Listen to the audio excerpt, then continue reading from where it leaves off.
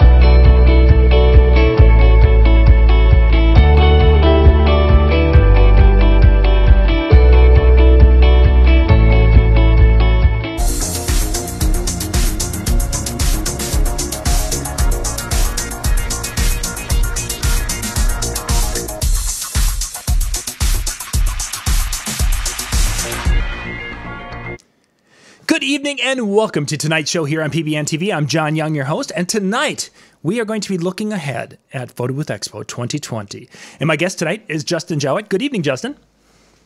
G'day, how are we doing? It's, uh, it's only lunchtime here in Australia, so I'll say g'day, which covers all periods of time. There we go. We'll go that way. So, yes, this is Lunch with Justin today, coming to you. uh, yeah, you're probably not having a peanut butter sandwich I had for lunch today, but that's another story. When you're working, in, we're in that, that crunch time right now. For those of you who aren't, uh, maybe have been hiding under a rock. Photo Booth Expo is coming up here in a couple of weeks. Two weeks from now, Justin and I are going to be in Las Vegas, probably dead tired by, let's see, this will be six o'clock Vegas time. Yeah, we're going to be dead tired Wednesday at six o'clock. if we're not, something's gone wrong. that's that's very very true very true. Because yes, we will have uh, have had Monday, um, and you can go to photoboothexpo.com to check this out. Monday educational content, Tuesday educational content, and then the expo, the exhibit hall opens. Wednesday educational content, and the expo. Just a lot of things going to be going on in those those first three days, and then of course we have Thursday also. It's going to be busy it's a very busy time, but it's so exciting. I can't wait to get back there for my fourth time. It's it's always a lot of fun. Yeah, oh, it, it is. It is. I we enjoy just going to Vegas, especially from Minnesota, where it's now like twenty below outside right now. Yay! So for oh us, it's a it's like a, a little vacation that way also. But then to go down and see the excitement. I mean, what, for those who've never been there before, kind of explain the first time you walked in and saw that exhibit hall. What were your thoughts on that, Justin? Oh, look, I'm coming from a place where I run a photo booth expo in Australia, and we've, we've got about 130 people come to my expo, and it's a pretty, you know, relatively speaking, we consider it a big enough expo. We've got mm-hmm. 20 exhibitors. Yeah. So the first time I walked into the trade show hall at PBX, and we're talking like 100 exhibitors, I just was like blown away. It took my show, and then just was like somebody went expand, expand, expand, a bit like the Big Bang Theory, and it's just, yeah, it's just the most amazing thing. Um, I liken it to if anyone's ever been to Turkey and been to the Grand Bazaar, uh, that is a place where, for as far as the eye can see, there are stall after stall after stall. Well, this is the Grand Bazaar of the photo booth industry. So, you know, you'll be with wide eyes, jaw agape, um, reaching into your pocket, thinking, "Am I buying this? Am I buying that?" It's it's, it's too exciting. It is. Yeah, there's the opportunity to learn about the craft and to see all the newest and and hottest items that are going to be available for the upcoming season.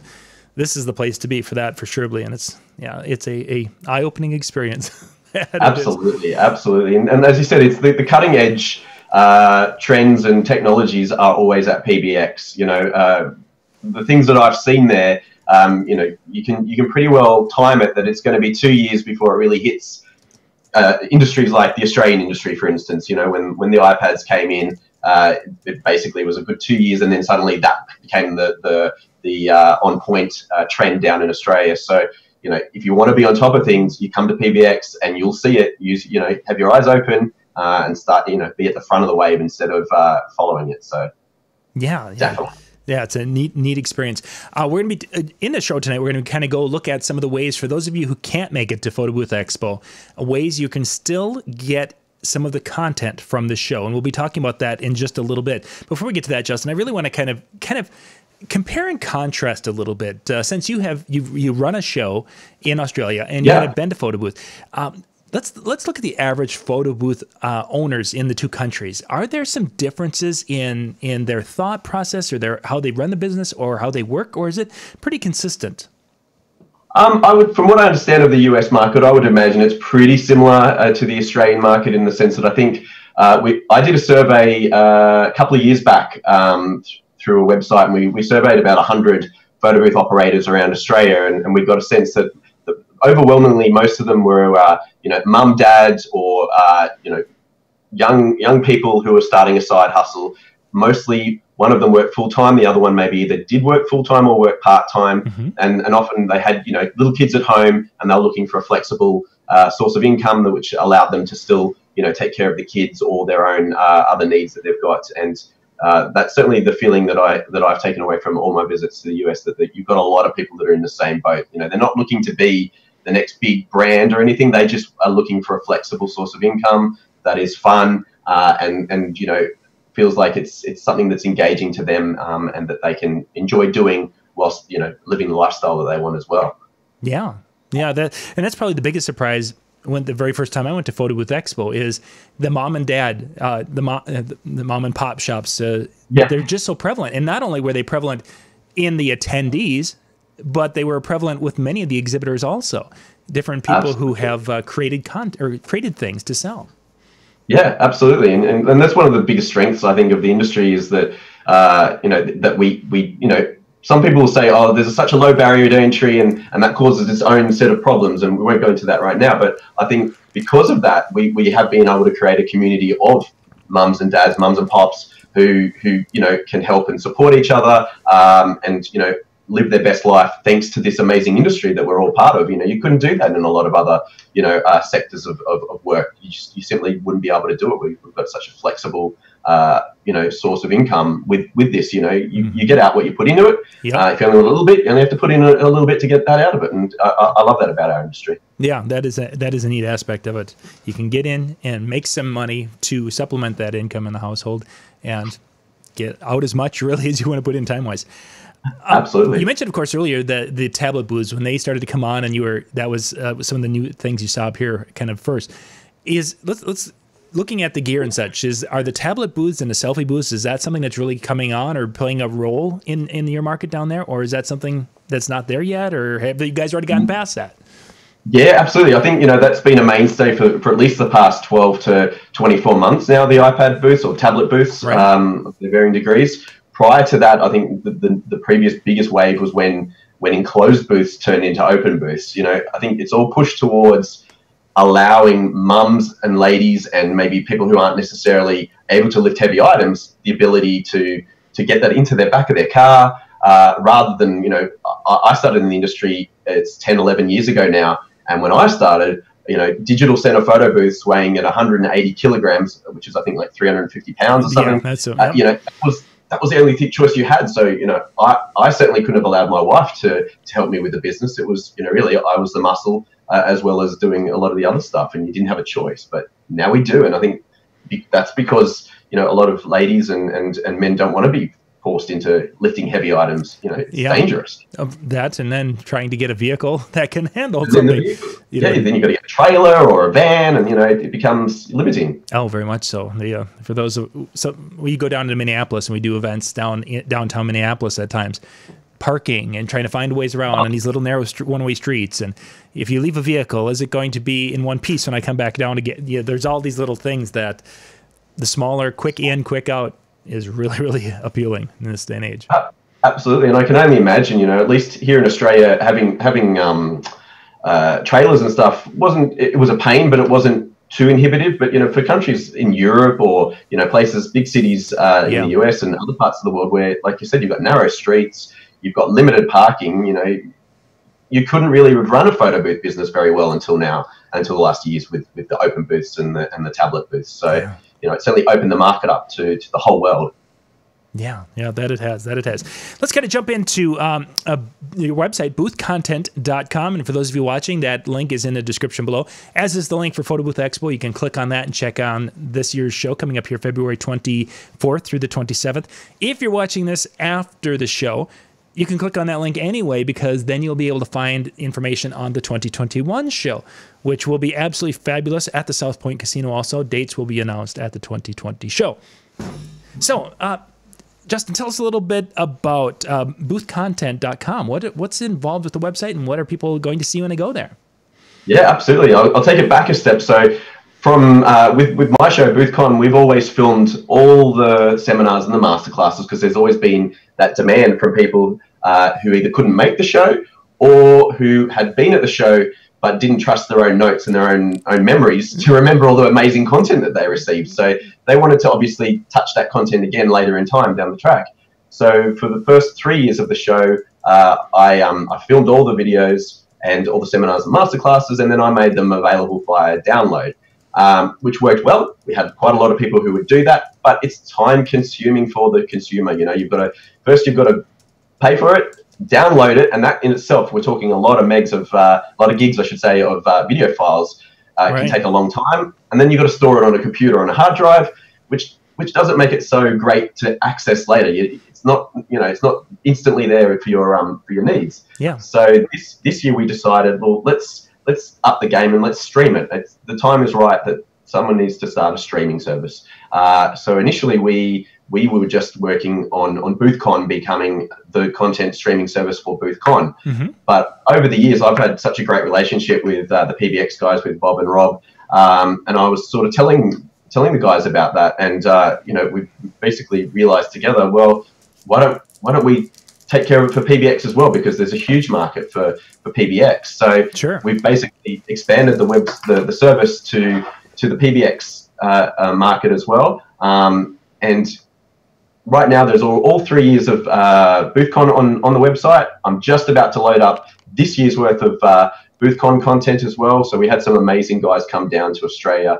uh, from North America and from Europe. Um, you know, Catalina Block was down there uh, this year. We also had David Miller from LA Photo Party came down, which was amazing. Nice. Yeah. Uh, in addition to some of our local talent like Steve Bleasner from um, the photo booth guys, and um, you know he's a Breeze ambassador. So we, you know, we've got some amazing talent down here, but it's now going to be supplemented by the fact that I'm coming over to PBX this year, and uh, my team is going to film all the content there from the seminars, and, and that's going to be on the website as well. And you know, people will be able to jump on the booth content website. Um, we don't want to make it just a paid service, so there's a lot of free content there. Uh, your, yourself, you know, PBN TV is involved in this as well, which I'm really uh, excited to have you guys partner with us yeah. uh, for some free content, um, some other third-party free content that we've sourced as well. Um, and then for those of you that want to access uh, you know, the actual uh, expo content, whether it be BoothCon or Photo Booth Expo.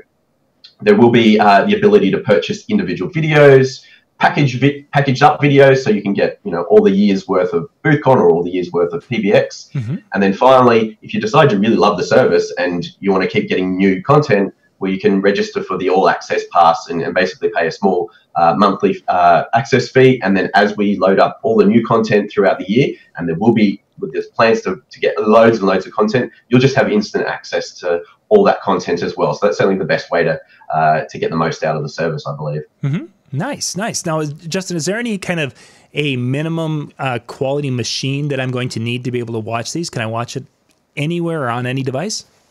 Yeah, you can watch it anywhere on any device. We've got um, the Vimeo service is underpinning the whole website streaming service. So basically, you should be able to access that on your mobile, on your on your cell phone, you guys call it, um, on your tablet, or on your PC at home, um, or, or, Mac. You know, any any uh, internet capable device, nice. be able to access those those videos and stream straight to you and.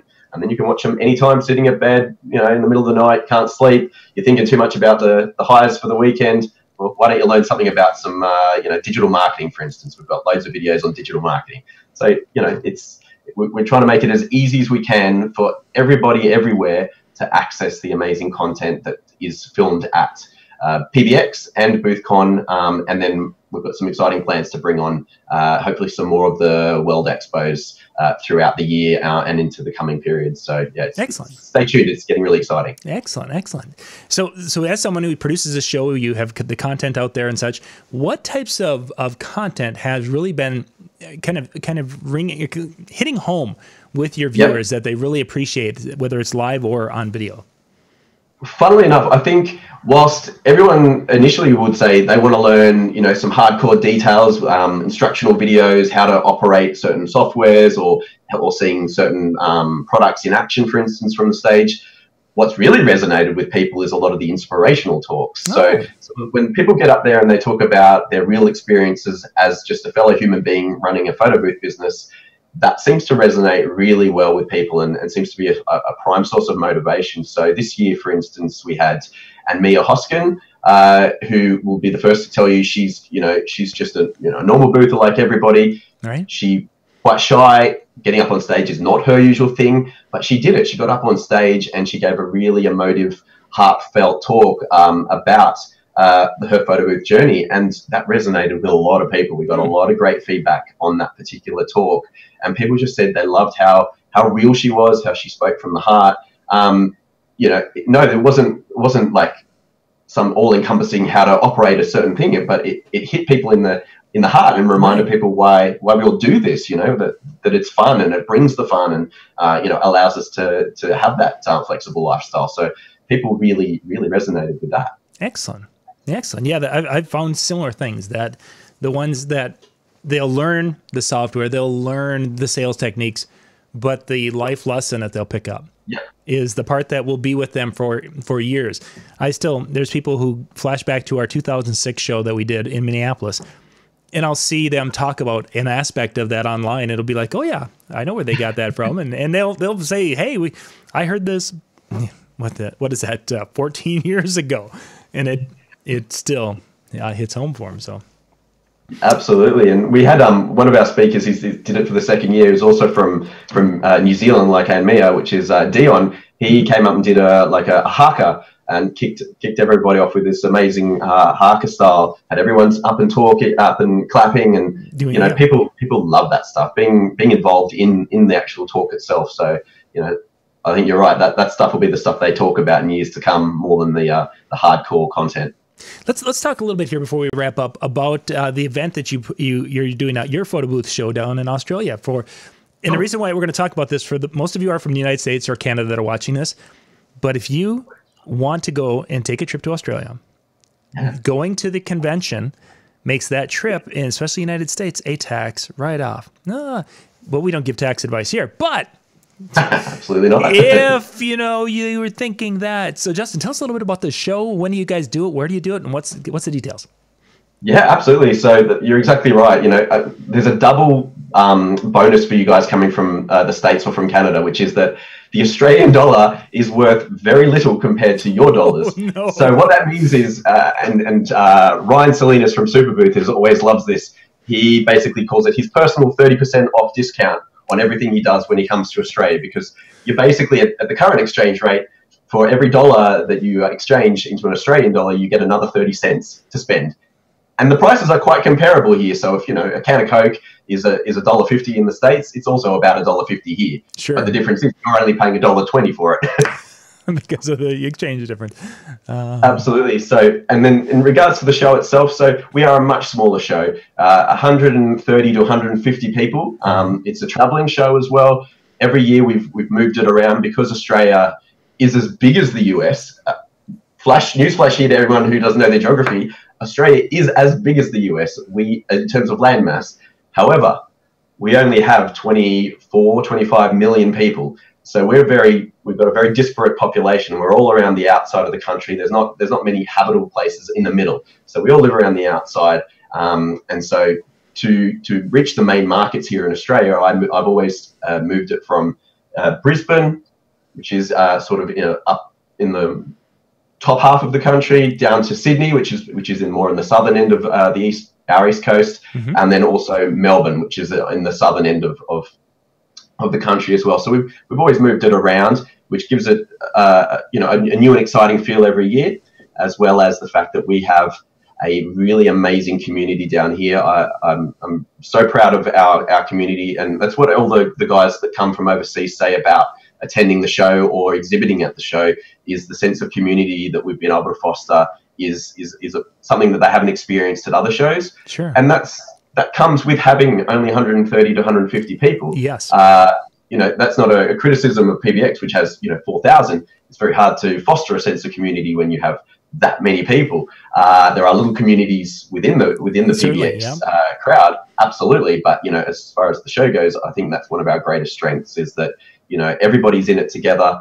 Uh, the exhibitors uh, and the attendees uh, and the presenters, we all sort of mingle together throughout the show, and there's a lot of um, you know networking that happens, and it feels feels very community like. So uh, you know, if you're looking for something a little bit different uh, to to PBX or anything else that, that's out there, and and also getting a um, a great holiday. Uh, in, thrown in the mix that uh, the, the tax department will pay you a little bit for, um, then yeah, come down to BoothCon.